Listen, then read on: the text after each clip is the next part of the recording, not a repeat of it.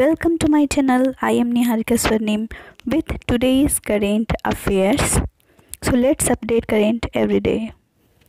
पहला प्रश्न है उड़ीसा सरकार ने जैव ईंधन प्रौद्योगिकी के माध्यम से गहन जलीय कृषि को बढ़ावा देने के लिए एक नई योजना शुरू की है यह तकनीक निम्नलिखित में से किस संतुलन के माध्यम से एक्वाकल्चर में पानी की गुणवत्ता बढ़ाने की तकनीक है तो इस प्रश्न को ध्यान से देखेंगे कि इसका सही उत्तर क्या हो सकता है।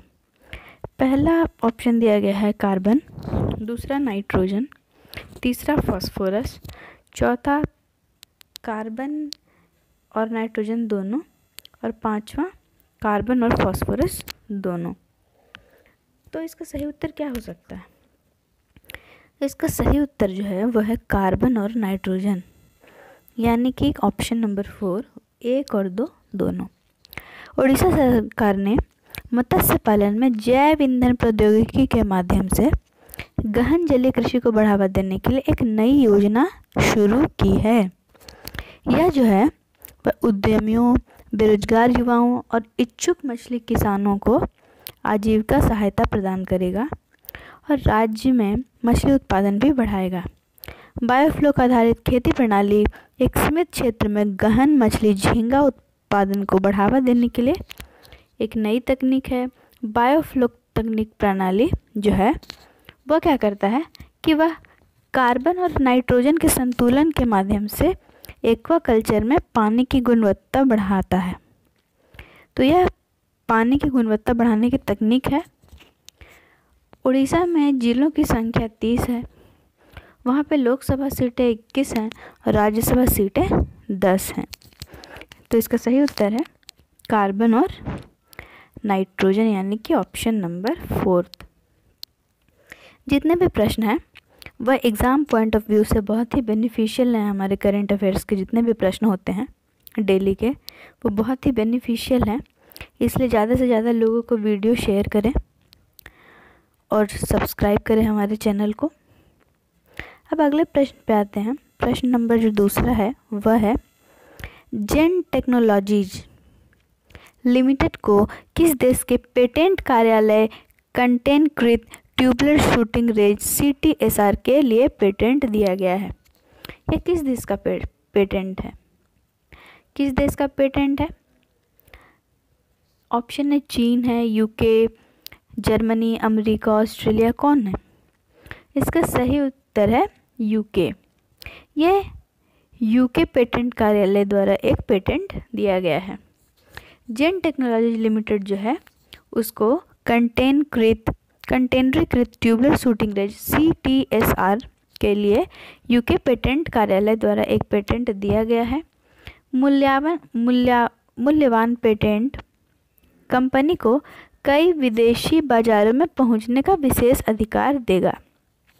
सी जो है, ये एक कंटेनर रेंज है, जहाँ क्या होता है कि सुरक्षा बल जो है, वो अपने कर्मियों को पारंपरिक रेंज की तुलना में जो है, वो तेज़ी से और कुशलतापूर्वक प्रशिक्षित कर सकते हैं। और इससे जुड़ी अन्य जानकारी, इस क्वेश्चन से अन्य जानकारी जो है, वो भी हम लोग देखेंगे। ब्रिटेन की राजधानी लंदन है। यहाँ की मुद्रा पाउंड स्टर्लिंग है। प्रधानमंत्री बोरिस जॉनसन है और यहाँ का जो राष्ट्रीय खेल है वो है क्रिकेट। आज के वीडियो में मैं ये आपको बताना चाहती हूँ कि हमारे जितने भी प्रश्न होते हैं, उसके वो सारे एग्ज़ाम पॉइंट ऑफ़ व्यू से बेनिफिशियल तो है ही। प्लस हम लोग जो है कंटेंट बहुत ही अच्छा होता है और एकदम सटीक जानकारी आपको देते हैं और उसकी जो एक्सप्लेनेशन होती है वो बिल्कुल सटीक होती है, बिल्कुल सही होती है और उससे अन्य जुड़ी जानकारियाँ भी हम लोग देते हैं। जैसे कि अगर किसी स्टेट की बात हुई तो वहाँ पे लोकसभा सीटें क्या हैं, राज्यसभा सीटें कितनी हैं? जिलों के बारे में बात करते हैं, वहाँ की राजधानी के बारे में बात करते हैं। और भी अन्य जुड़ी जानकारियाँ कुछ हम देते हैं, जैसे कि मुद्रा वगैरह के बारे में भी बताते हैं, राष्ट्रीय खेल, राष्ट्रीय पशु के बारे में भी बताते हैं। तो बहुत ही बेनिफिशियल है। नाउ क्वेश्चन नंबर थ्री रूस में आर्मी 2020 अंतर्राष्ट्रीय सैन्य और तकनीकी फोरम में इंडिया पवेलियन का उद्घाटन किसने किया? आप ऑप्शन देख सकते हैं। पहला ऑप्शन जो है वो आपका है राजकुमार, दूसरा अनिल कुमार गुप्ता, तीसरा राजीव गौबा, चौथा डॉक्टर वीपी जॉय, पांचवा सामंत गोयल। इसका सही उत्तर है राजकुमार। रूस में army 2020 international military and technical forum में इंडिया पवेलियन का उद्घाटन किया गया है। सचिव रक्षा उत्पादन, राजकुमार ने इंडिया पवेलियन का उद्घाटन किया और प्रदर्शनी में भारत, रूस, बहयोस का, बहयोस संयुक्त उत्तम पवेलियन, भारत, रूस, बहयोस संयुक्त उद्यम पवेलियन सहित अन्य पवेलियन का दौरा किया। रूसी रक्षा मंत्रालय द्वारा आयोजित मंच मास्को के पास 23 से 29 अगस्त 2020 तक आयोजित किया जा रहा है। रूस की राजधानी मॉस्को है। वहाँ की मुद्रा रूसी रूबल है और जो राष्ट्रपति हैं, जो वर्तमान राष्ट्रपति हैं रूस के, वो है व्लादिमीर पुतिन। अब अगले प्रश्न पर आते हैं। प्रश्न चौथा, fourth question number. Army sports institute को 2020 2020 के लिए राष्ट्रीय खेल प्रोत्साहन पुरस्कार के लिए किस श्रेणी के तहत चुना गया है? ऑप्शन है पहला encouragement to sports through corporate social responsibility second option है आपका identification and nurturing of budding and young talent young talent option को ध्यान से देखिए। अब थर्ड है employment of sports person and sports welfare measures चौथा ऑप्शन है आपका स्पोर्ट्स और फॉर डेवलपमेंट और पांचवा है, उपरोक्त में से कोई नहीं। तो क्या बात कर रहा है ये? प्रोत्साहन पुरस्कार। यानी कि आर्मी स्पोर्ट्स इंस्टीट्यूट को 2020 के लिए राष्ट्रीय खेल प्रोत्साहन पुरस्कार के लिए किस श्रेणी के तहत चुना गया है? इसका सही उत्तर है identification and nurturing of budding and young talent A S I army sports institute जो है, वह पुणे में स्थित है। पूना में स्थित है, पुणे। इसको 2020 के लिए राष्ट्रीय खेल प्रोत्साहन पुरस्कार के लिए चुना गया है। यह जो है, वो identification and nurturing of budding and young talent श्रेणी के तहत प्रदान किया जाएगा। यह जो पुरस्कार है, वह कॉरपोरेट संस्थाओं, निजी के साथ साथ सार्वजनिक क्षेत्रों को और ऐसे व्यक्ति जिन्होंने खेल को बढ़ावा देने और विकास के क्षेत्र में महत्वपूर्ण भूमिका निभाई है, उसको दिया जाता है। इसका सही उत्तर है identification and nurturing of budding and young talent question number five जल प्रौद्योगिकी प्रमुख वाटेक वाबाग ने किस शहर के कोयम्बेडू में अपने 45 million litre tertiary treatment reverse osmosis T plant के लिए ग्लोबल वाटर अवार्ड जीता। फ़र्स्ट ऑप्शन आपका पुणे, हैदराबाद, कलकत्ता, चेन्नई, दिल्ली। इसका सही उत्तर क्या है? कमेंट बॉक्स में बताएँगे। इसका सही उत्तर क्या है? क्या लगता है आपको? कौन सा उत्तर सही है इसका? फ़र्स्ट, सेकेंड, थर्ड, फोर्थ और फिफ्थ। इसका सही उत्तर है फोर्थ चेन्नई। क्यों है भाई? तो जल प्रौद्योगिकी प्रमुख वाट टेक वाबाग जो है, इसने चेन्नई के कोयम्बेडू में अपने 45 million litre tertiary treatment reverse osmosis T T R O plant के लिए ग्लोबल वाटर अवार्ड जीता है। संयंत्र को वर्ष की अपशिष्ट जल परियोजना श्रेणी के तहत पुरस्कार मिला। टीटीआरओ संयंत्र भारत में सबसे बड़े और तकनीकी रूप से सबसे उन्नत जल पुनः उपयोग संयंत्रों में से एक है। The correct option is Chennai option number four अब आते हैं क्वेश्चन नंबर सिक्स छठवां प्रश्न। छठवां प्रश्न है, अगस्त 2020 में भारत ने किस देश के साथ पहली राष्ट्रीय समन्वय समिति की बैठक की सह अध्यक्षता की? सह अध्यक्षता यानी कि सह अध्यक्षता की किसके साथ की है भारत ने? तुर्कमेनिस्तान के साथ की है, तजाकिस्तान के साथ की है, कजाकिस्तान के साथ की है, उज्बेकिस्तान के साथ की है या किर्गिस्तान के साथ की है? किसके साथ सह अध्यक्षता की है? तो इसका करेक्ट ऑप्शन आप कमेंट बॉक्स में लिखते जाइए। इसका करेक्ट ऑप्शन जो है वो है उज्बेकिस्तान। उज्बेकिस्तान के साथ भारत ने 24 अगस्त को 2020 24 अगस्त 2020 को पहली राष्ट्रीय समन्वय समिति की बैठक की सह अध्यक्षता की है। उन्होंने द्विपक्षीय हितों जैसे लाइन ऑफ़ क्रेडिट एल परियोजनाओं, व्यापार और निवेश के मुद्दों पर चर्चा की। बैठक की सह अध्यक्षता विदेश राज्य मंत्री वी मुरलीधरन और उज्बेकिस्तान के उप प्रधानमंत्री। ध्यान देंगे। बैठक की सह अध्यक्षता विदेश राज्य मंत्री वी मुरलीधरन। विदेश राज्य मंत्री वी मुरलीधरन और उज्बेकिस्तान के उप प्रधानमंत्री Sardor Umurzakov Sardor Umurzakov ने की उज्बेकिस्तान की राजधानी जो है वो ताशकंद है। ध्यान देंगे। और भी अन्य जो जानकारी है, उस पर भी ध्यान देंगे फोकस करेंगे। जैसे कि अभी उज्बेकिस्तान के उप प्रधानमंत्री कौन है? तो सरदोर उमर जोव हैं। उज्बेकिस्तान की राजधानी कहाँ है? तो ताशकंद है। मुद्रा उज्बेकिस्तान की क्या है? तो वहाँ की मुद्रा जो है, वो है उज्बेकिस्तान सोम। राष्ट्रपति उज्बेकिस्तान के शवाकत मिर्जियो एव हैं। शवाकत मिर्जियो एव फिर से सुनेंगे। राष्ट्रपति जो हैं, वो हैं Shavkat Mirziyoyev.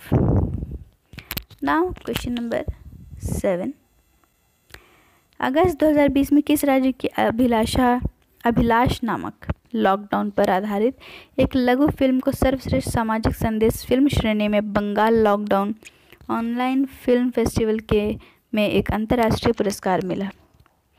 Bengal lockdown online film festival. अब यहाँ Bengal lockdown online film festival है, इसका मतलब नहीं है कि इसका उत्तर बंगाल होगा। प्रश्न को ध्यान से देखेंगे। क्या क्या ऑप्शंस हैं? पहला ऑप्शन आपका सिक्किम दे दे रखा है, दूसरा दे रखा है उड़ीसा तीसरा है बिहार, फोर्थ ऑप्शन है आपका पंजाब, पांचवा जो है वो है गुजरात। क्या आंसर हो सकता है इसका? इसका सही उत्तर है उड़ीसा ऑप्शन नंबर टू क्यों है भाई? क्यों है इसका ऑप्शन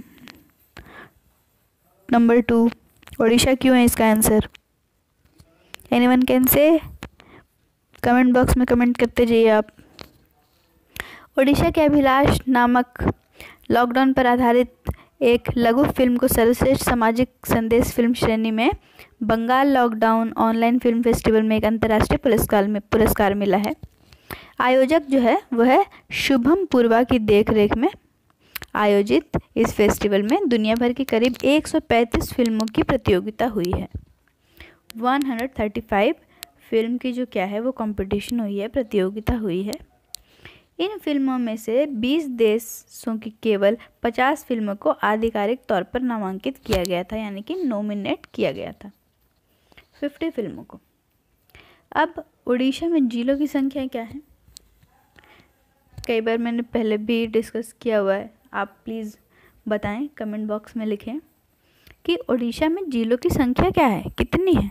तो तीस है थर्टी लोकसभा सीटें इक्कीस हैं और राज्यसभा सीटें दस हैं।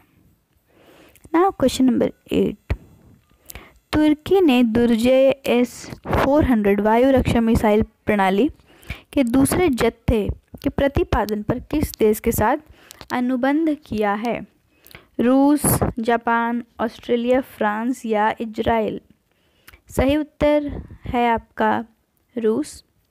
रूस और तुर्की ने दुर्जे एस 400 वायु रक्षा मिसाइल प्रणाली के दूसरे जत्थे के प्रतिपादन पर एक अनुबंध पर हस्ताक्षर किए हैं। अब पक्ष अनुबंध को लागू करने की वित्तीय व्यवस्था पर चर्चा कर रहे हैं। रूस और तुर्की ने सितंबर 2017 में एस 400 वायु रक्षा प्रणालियों की आपूर्ति के लिए एक ऋण समझौते पर हस्ताक्षर किए थे। इसके परिणाम स्वरूप अमेरिका ने अपने नाटो सहयोगी को, एनएटीओ सहयोगी को, एफ़ थर्टी फाइव लड़ाकू जेट का प्रतिपादन जो है वो निलंबित कर दिया है। रूस की राजधानी मॉस्को है। मुद्रा रूसी रूबल है। राष्ट्रपति व्लादिमीर पुतिन है। और प्रधानमंत्री मिखाइल मिसुस्टीन है। प्रधानमंत्री रूस के कौन है? मिखाइल मिसुस्टीन। मिखाइल मिसुस्टीन है, प्रधानमंत्री। क्वेश्चन नंबर नाइन असम सरकार ने ब्रह्मपुत्र के ऊपर एक रोपवे का उद्घाटन किया है, जो गुवाहाटी को उत्तर गुवाहाटी से जोड़ता है। रोपवे की लंबाई कितनी है? रोपवे की लंबाई कितनी है? क्या है? 1.4 किलोमीटर 1.6 किलोमीटर 1.8 किलोमीटर 2.0 किलोमीटर या फिर 2.2 किलोमीटर। क्या है करेक्ट ऑप्शन करेक्ट ऑप्शन है आपका 1.8 किलोमीटर। असम सरकार जो है वह ब्रह्मपुत्र के ऊपर 1.8 किलोमीटर लंबे रोपवे का उद्घाटन की है, जो गुवाहाटी को उत्तर गुवाहाटी से जोड़ता है। यह भारत में एक नदी पर सबसे लंबा रोपवे है, जो कि छप्पन करोड़ रुपए की लागत से निर्मित है। इसमें दो केबिन शामिल हैं। कितने केबिन शामिल है इसमें? दो केबिन शामिल है, जिनमें से प्रत्येक में तीस यात्री और एक ऑपरेटर की क्षमता है। जिसमें कि कितने? थर्टी पैसेंजर्स और एक ऑपरेटर की क्षमता है। रोपवे की जो पूरी लंबाई है, रोपवे की पूरी लंबाई को पार करने में आठ मिनट लग जाते हैं। असम में जिलों की संख्या तैंतीस है, लोकसभा सीटें फोर्टीन हैं और राज्यसभा सीटें सात हैं। जिलों की संख्या थर्टी थ्री लोकसभा सीटें जो हैं वह हैं फोर्टीन और राज्यसभा सीटें जो है वह है सात। Seven now question number ten किस राज्य ने राज्य के पूर्व भाजपा प्रमुख सतपाल सिंह सत्ती को छठवें वित्त आयोग का अध्यक्ष नियुक्त किया है?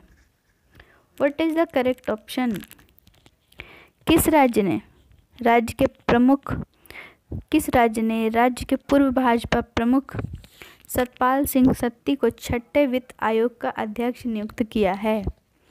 पहला है ऑप्शन आपका Himachal Pradesh second Punjab, third Gujarat, fourth Uttar Pradesh और पांचवा है केरल। क्या होगा इसका सही उत्तर?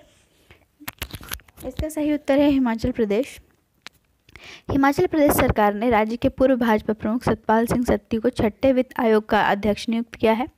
आयोग पंचायतों और नगर पालिकाओं की वित्तीय स्थिति और उनके लिए संसाधनों के हस्तांतरण की समीक्षा करेगा। आयोग का कार्यकाल अधिसूचना जारी करने की तारीख से तय होता है। यह अपनी रिपोर्ट 31 दिसंबर 2021 तक जो है वो उपलब्ध करा देगा। हिमाचल प्रदेश में जिलों की संख्या जो है वो है बारह। लोकसभा सीटें चार और राज्यसभा सीटें तीन हैं। ठीक है, इसका करेक्ट ऑप्शन है आपका हिमाचल प्रदेश। वीडियो को ज़्यादा से ज़्यादा लोगों तक शेयर करें, क्योंकि इसमें जो है वो आपके कंटेंट्स तो अच्छे हैं ही। प्लस इससे जुड़ी जानकारी जो है वो एग्ज़ाम के पॉइंट ऑफ़ व्यू से बहुत ही बेनिफिशियल है। तो अपने दोस्तों को शेयर करें ताकि उनको भी मदद मिले करंट अफेयर्स में। Thank you so much thanks for watching please like comment and subscribe my channel and keep sharing this video have a nice day